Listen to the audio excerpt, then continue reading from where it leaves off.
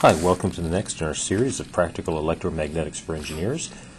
This talk is going to be about standing waves and something called the VSWR, or Voltage Standing Wave Ratio, that engineers use to determine how well we've matched a load to a line so we get the maximum signal and power transfer.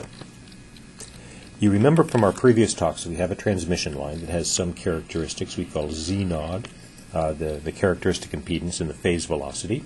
And we've terminated that line with a load that has some load impedance we call Z sub L. We know we have waves on the line, both a voltage wave and a current wave. We write like that.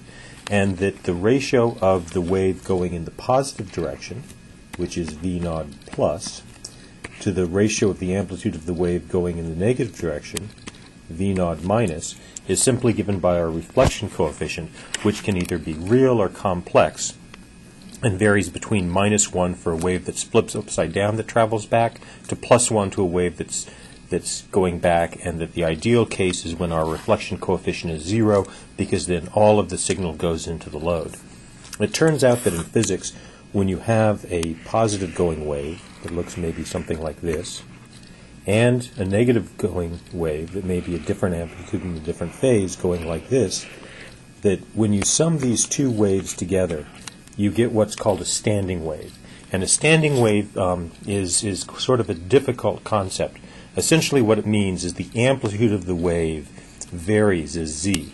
So if we had something like this and we actually looked at the amplitude of the, the waves, that amplitude might be low here, higher here, higher here, lower, higher, higher, higher, and so on and so forth. Essentially, what it means is that we don't have a constant amplitude signal at every point on this transmission line. The amplitude of the signal depends on the position on the line. And I know this is a little bit complicated, and the term standing wave is confusing because you think it's a wave that isn't moving, but, but that's not even true because we've got time variation of the wave. So the best thing to do is to stop here and look at a quick simulation of what a standing wave might look like on a transmission line, and I did this simulation in MATLAB so you can see it. Hi, so here we have a simulation of two waves. The positive going wave is moving to the right, the green negative going wave is, is moving to the left, and the load is going to be all the way over on the right hand side of your screen at zero. If we sum the two waves, we get the red wave, which is the standing wave. And because we show both the variation with space and time here, this wave doesn't seem to be standing still at all.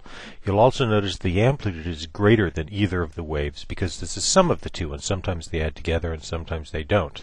Now if we put two little dots on the wave, and those dots are sitting on the black lines there, you can see that the dot over on the right at about negative 0.44 has a bigger amplitude than the dot at negative 0.8 on the left. And so you see the amplitude is dependent, and we can see this better actually if I plot the uh, point and hold that point in space. So we're sort of, you know, looking at all the points on the wave over time, and you can see that as that wave goes, the amplitude varies along the line. Um, at some points it's higher and at some points it's lower. But this is what we mean by a standing wave pattern, that the variation of the amplitude of a wave, and the wave will be moving with time as we move along the z-axis, is bigger and has this sort of oscillatory character. Okay, from that simulation you get the idea that the amplitude of the wave, even if the wave is moving, is a, is a function of the position on the line. Let's look at a couple cases. Um, the ideal case, at least for most engineering work, is when we match our line impedance Z naught with the load of the same impedance. In this case, we have a wave that goes in the positive direction, but no reflection. The reflection coefficient is zero in this case, so let's write that down. And in this case, the standing wave amplitude is just constant.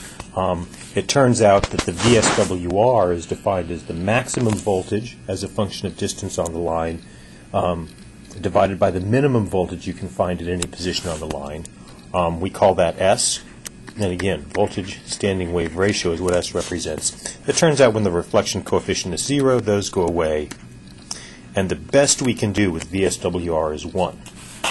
It turns out in the case if we short a line, for example, and this also holds for an open circuit as well, that, that not only is this going to go down, but the exact same amplitude is going to go back. It's going to be 180 degrees out of phase. Uh, the reflection coefficient for a shorted line is negative 1, for an open line it's positive 1.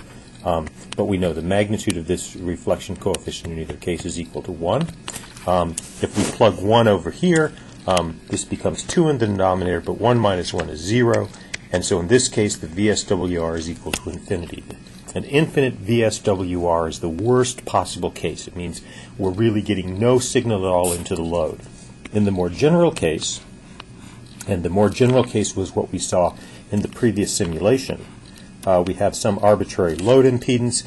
In this case, the the voltage varies on the line in some kind of function. It's, it's you know Vmax is is not large, it's not small, Vmin is not zero.